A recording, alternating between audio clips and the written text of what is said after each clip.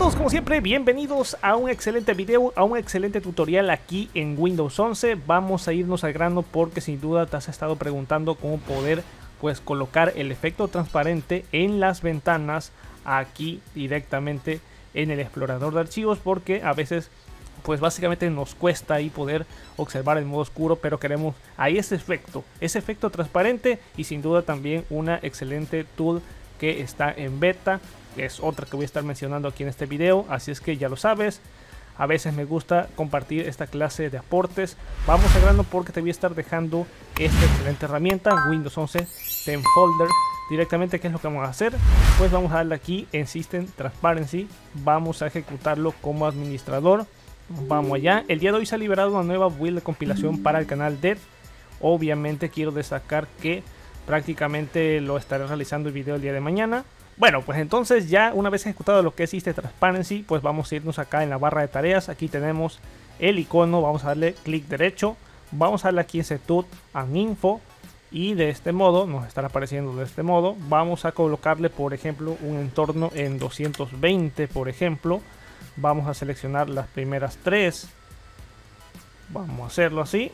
Vamos a seleccionar por ejemplo este Vamos a seleccionar también este. Dicho eso, pues ya de este modo ya lo tenemos ahí. Vamos a darle aquí en Start. Vamos a darle aquí en aceptar. Vamos a darle aquí en OK.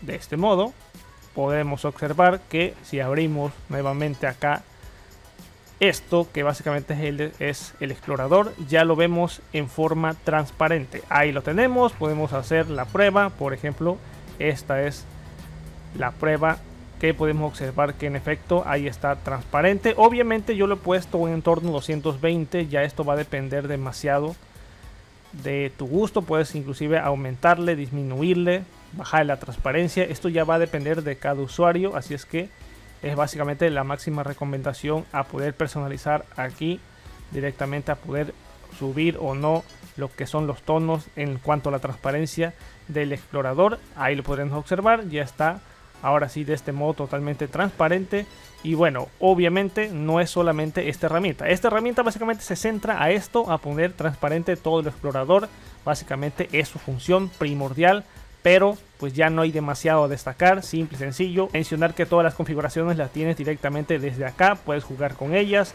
prácticamente puedes realizar aún más cosas, así es que ahí lo tendríamos. Y después quiero hablar también de otra herramienta y es Star is Back, la versión beta, que es la beta 2, que se lanzó recientemente, se ha lanzado prácticamente hoy, septiembre 15, así es que ya está la beta disponible. Una beta que le da continuidad a Windows 11, así es que podríamos instalarla ahí.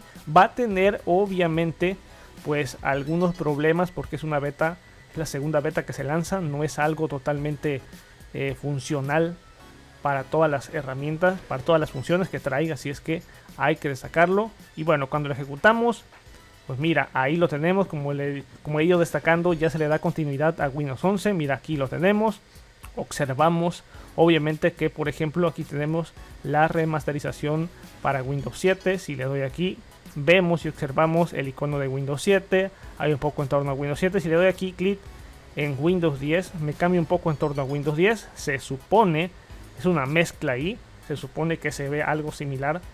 Y bueno, Windows 11 que en teoría debería cambiar, pero observamos que es una beta, es la beta 2 y aún andan ahí una clase de problemas. Así es que podríamos observar si yo lo doy aquí lo desactivo, pues puedo visualizar prácticamente similar todo referente a Windows 11.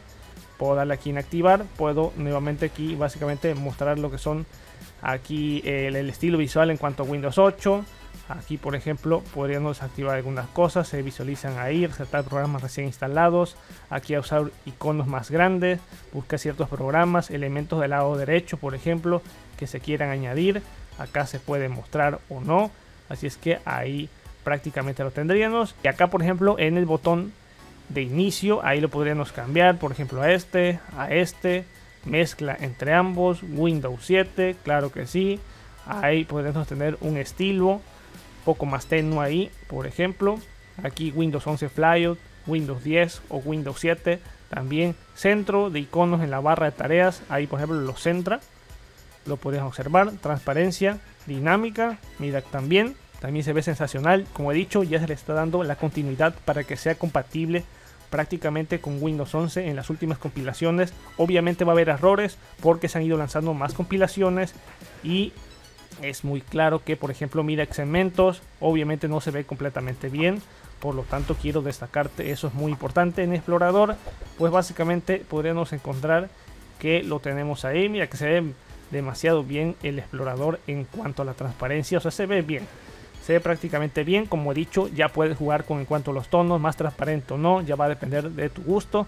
Acá por ejemplo algunas opciones con las cuales cuenta el explorador aquí botones en cuanto a Windows 11, basado en Windows 7 también.